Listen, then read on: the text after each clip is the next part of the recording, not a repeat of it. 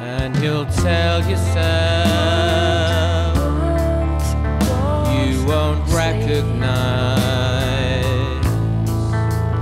what lies buried there.